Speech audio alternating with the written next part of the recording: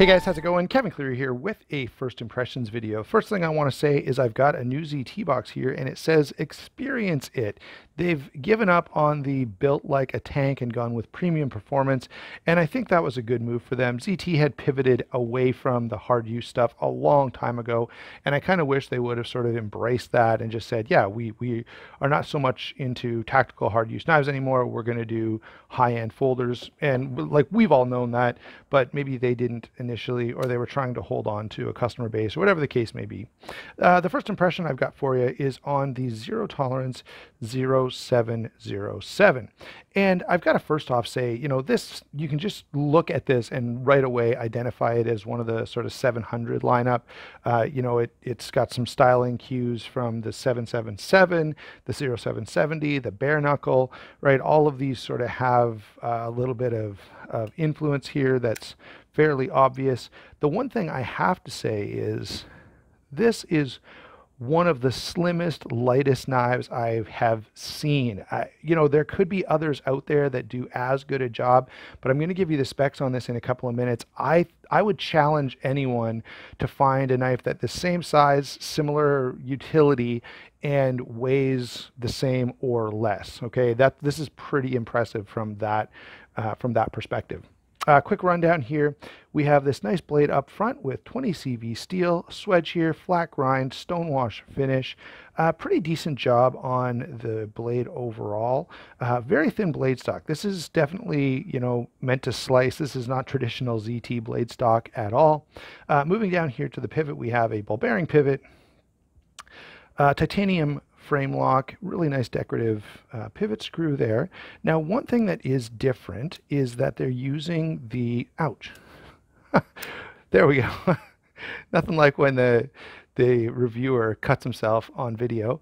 Um, so they're using the double detent system, which means that the actual detent setting is right here at the end of my index finger. So see that little detent ball and that flat uh, leaf spring.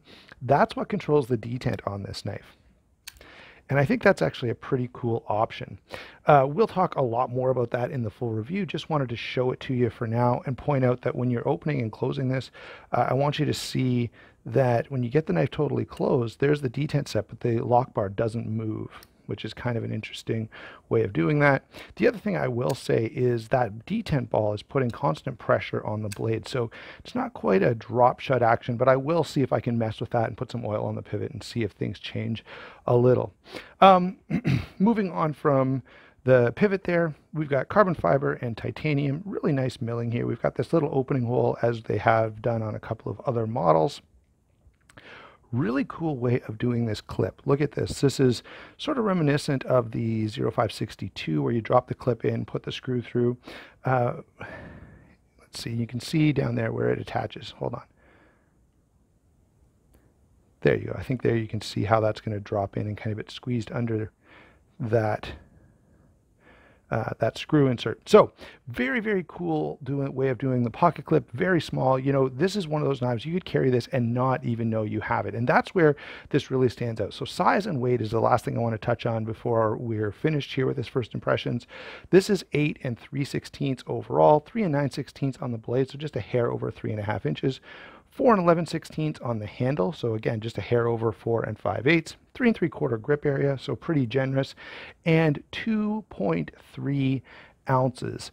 I cannot think of another knife that's over 8 inches that weighs 2.3 ounces. That is impressive. And that combined with this clip, it, like this is a knife that is like just made of nothing. It's really, really cool from that perspective. If you don't want to uh, you know, if you want something very light and completely unnoticeable, uh, that's that's where I think this really shines. So we've got a pretty cool knife here. I'm going to spend some time with it. I'm going to see what I think overall, and I am going to, as soon as I shut this off, actually, I'm going to see what I can do about the action on this. Um, see if I can improve it. I'll, I'll, update over on Instagram.